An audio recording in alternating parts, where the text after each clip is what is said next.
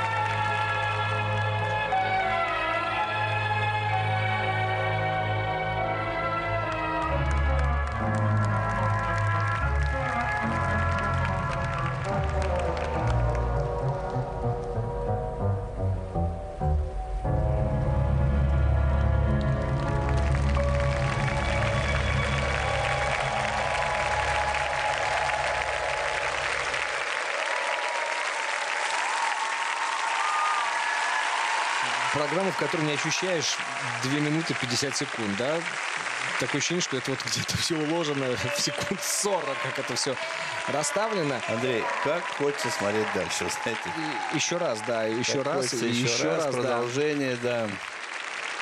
Но когда все сочетается вместе, конечно, тогда хочется смотреть продолжение этой программы. Ну, небольшая ошибка она допустила. Сейчас посмотрим, конечно, да, на акселе.